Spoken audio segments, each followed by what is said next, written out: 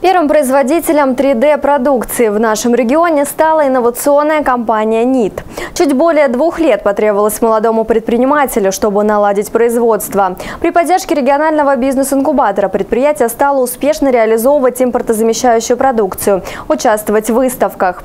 Небольшой цех сотрудничает с другими регионами, расширяя рынки сбыта. И этот положительный пример не единственный. Успешных проектов, реализованных с помощью Центра поддержки предпринимательства во всех отраслях промышленности, становится все больше. Основатель инновационной компании НИТ открыл некоторые секреты успеха. Каждый, кто знает, как и с помощью чего работает обычный принтер, легко представит и технологию этого небольшого производства 3D-продукции. Если офисный аппарат печатает на бумаге, то эта линия производит материалы для изготовления объемных предметов. У нас в Волгограде проходит э, ежегодная премия, называется она «Бизнес-лидер». Вот. Э, в этом году, э, то есть по итогам 2017 года, были номинированы бизнес-лидеры города Волгограда. Для них были напечатаны статуэтки для вручения. Вот. Напечатаны они были из нашего материала и на наших 3D-принтерах. Это первое в Волгоградской области инновационное производство подобного направления, продукция которого востребована во многих регионах России. Идея зародилась в 2014 году. На первоначальном этапе в предприятии было вложено около 10 миллионов рублей. Закупив технологическое оборудование, сырье, обучив персонал, молодой предприниматель Виталий Сергеев выпустил первую продукцию.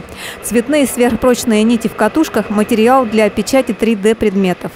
Ручки для детского творчества являются яркой иллюстрацией инноваций компании? Это 3D-ручка для рисования 3D-моделей. Ну, в основном э, ей рисуют дети. Нажимаем на кнопочку, выходит нить, нить застывает на воздухе, получается какой-то узор.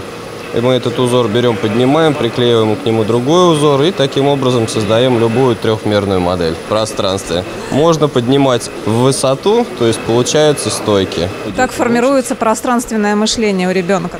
Да, да, так он э, мыслит не только на бумаге, но еще как бы в, раз, в разные стороны. Да. Надо отметить, что сырье, из которого изготавливаются нити, природного происхождения – кукуруза и сахарная свекла. Они полностью разлагаются без вреда для окружающей среды.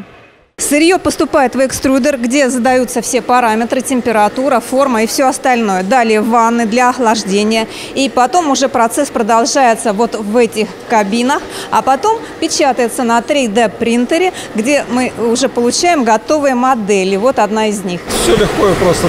30 минут катушка готова прошлом году компания НИТ разработала и начала внедрять пилотный проект обучения 3D-моделированию в школах с поставкой 3D-принтеров и 3D-ручек. За неполных 4 года работы компания не только наладила производство материалов для 3D-продукции, но и нашла партнеров, выстроила стратегию, увеличила объем выпускаемой продукции.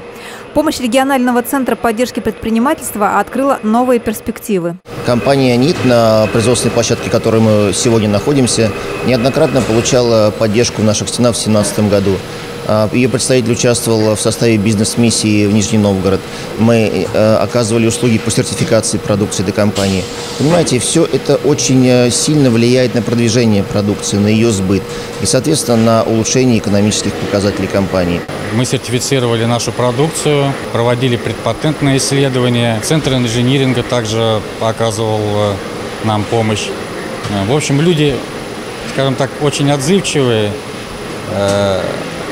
понимают, что нам а, нелегко а, выводить э, такой инновационный продукт, вот, а, подсказывают.